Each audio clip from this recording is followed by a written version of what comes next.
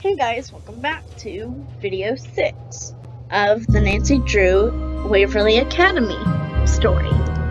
We last found out that Rachel has a twin sister named Kim, and that Green did an essay on Edgar Allan Poe that won the Pen and Paper Award. Good for her. We found out that Poe had a story that he had possibly written but never published, and that it went missing one day. So we don't know what happened to it.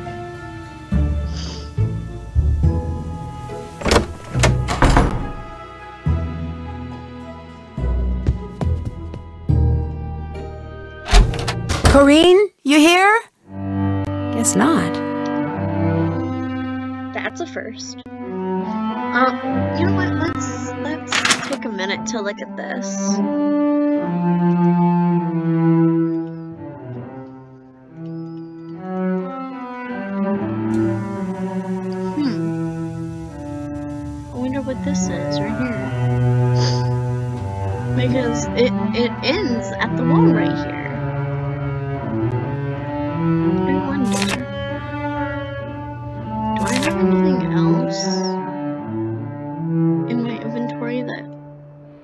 I could look at? I don't think so.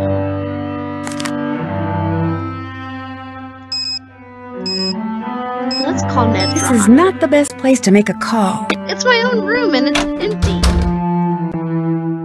Whatever. Ned! I want to talk to Hey, Nancy. Ned. So, do you know who done it yet? Well, I have an idea who the culprit is. Great. Let's hear it.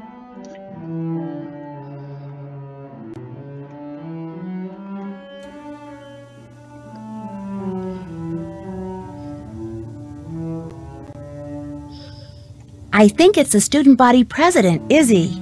She's not very book smart, but she's incredibly people smart. And since this black cat stuff is basically psychological warfare, something she's an expert at, I'm pretty sure she's using it to mitigate the competition when it comes to being valedictorian. What about the accidents? You think she's smart enough to pull them off? Whatever she lacks in brains, she more than makes up for in motivation. And since hurting people doesn't seem to bother her at all, yes, I think she is. Then you're almost there. Now all you have to do is prove it. You're not going to believe this, but Rachel is actually two people. What do you mean she's two people? I mean, she has a twin named Kim, and they're both here at Waverly attending classes as Rachel.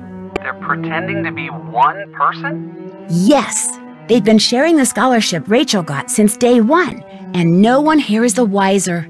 Wow. I'm impressed. They're also responsible for the Black Cat notes. They're the Black Cat? Not technically. Apparently, the real Black Cat is forcing them to do her dirty work for her. You mean they're being blackmailed? Somehow, the Black Cat discovered their secret, so now, if they don't comply, busted. I don't know, Nance. These twins are obviously good at fooling people. They could be playing you. And now that they know that you know their secret, their work could get a whole lot dirtier. Time to do some more snooping. Stay out of trouble. I'll try, but you know me. Bye. Well, we're gonna have to, you know, just keep. I'm here. How goes it? I'll quit bugging you. Door's always open.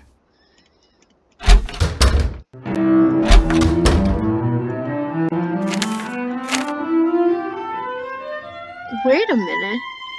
That's Izzy's stuff. Why does Corine have this?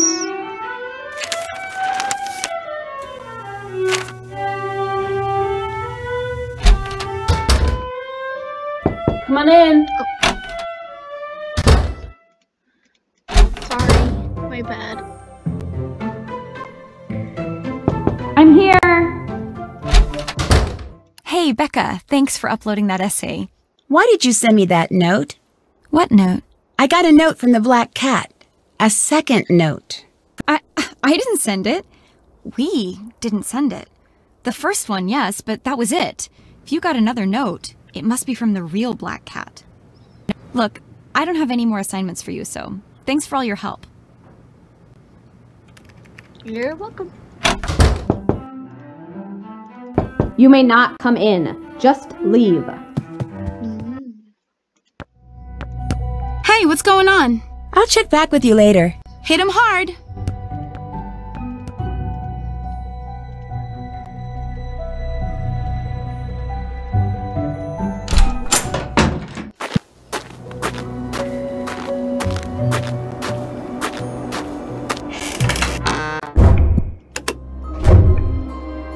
What is that noise?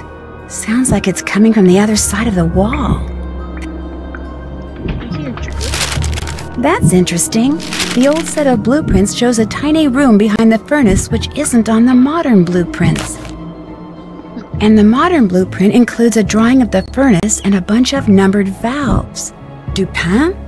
I've seen that name before in Hollowell's journal. Wait a minute. I wonder. What was it again? I wrote it down.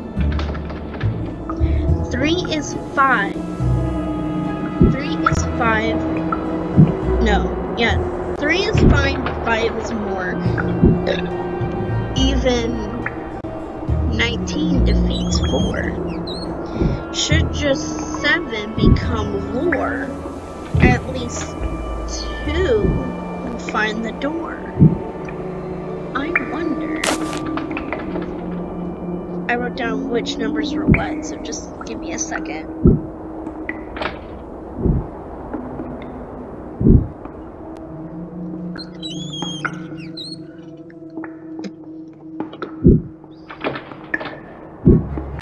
Three is fine, five is more. Even 19 defeats 4. Should just 7.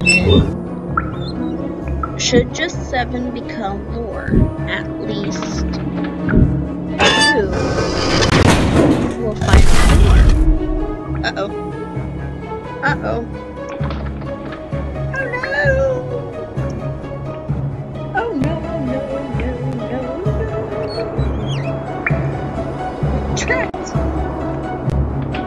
Corine? What are you doing here?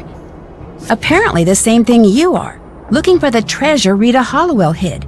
Is that it? What is it? An old manuscript? By Edgar Allan Poe. Never published.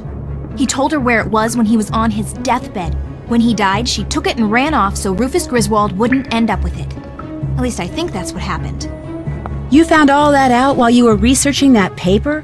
When I do research, I do research. Although, truth be told, all I knew with relative certainty is that she'd hidden something in this building. I wasn't sure where. Which is why you became the Black Cat. I'm not the Black Cat. I didn't leave those notes. No, you blackmailed someone else into doing that for you. Two someones, actually. You're pretty smart. The question is, are you smart enough to live to tell the tale?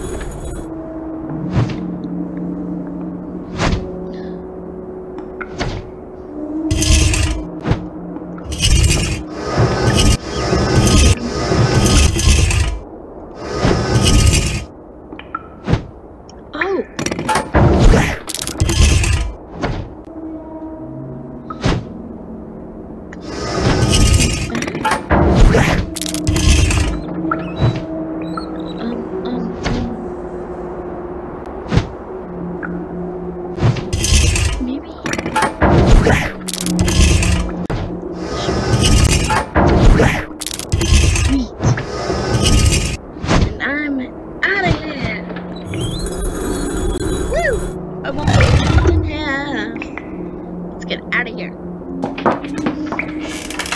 No, forget it. You're not going anywhere till you tell me what the heck is going on. Come on, Mel. It's too long a story. I need to go. You just entered my room through the wall. I want an explanation. I'll explain later. Now let me past.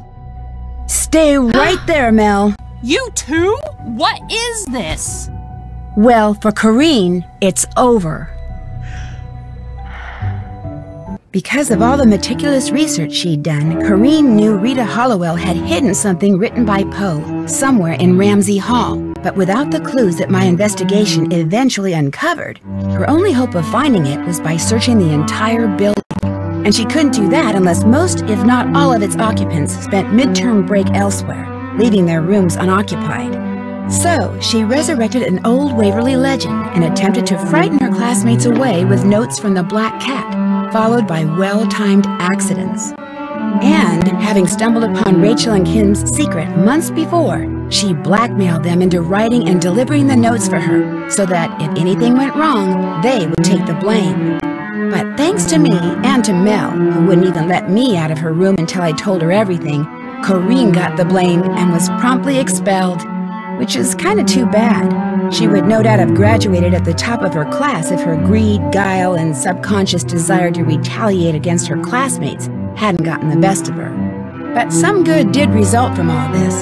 For one thing, Megan's parents dropped their threatened lawsuit and allowed her to return to school.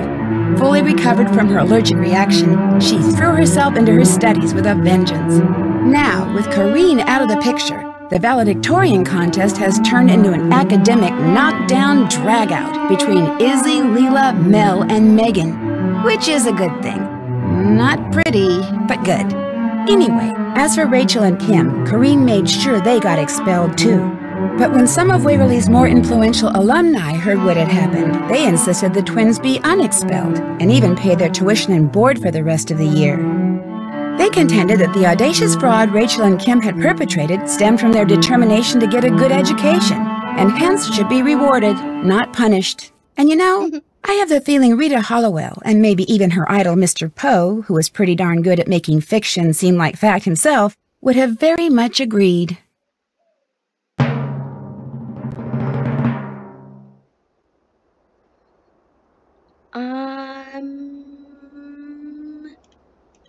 I think it was Izzy.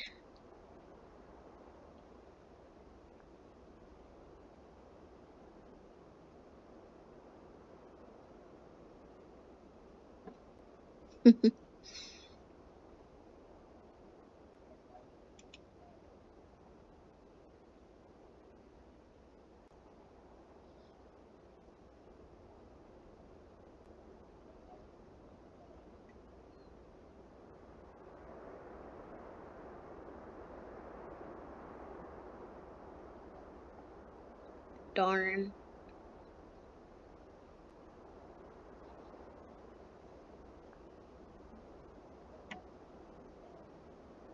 I don't know about you, but tornadoes have always fascinated me.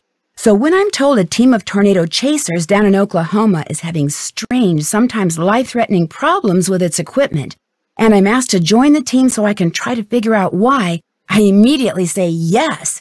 But once I arrive in Tornado Alley, I quickly discovered that a line of storms severe enough to spawn a record-breaking string of twisters is not my biggest problem. I must also survive the diabolical actions of a teammate bent on sabotage.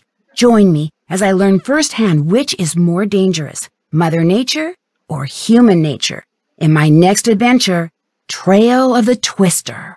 I would say human nature is more dangerous would be an interesting story, though, to, to you know, work out and whatnot. Too bad that this is the only uh, Nancy Drew game that I have.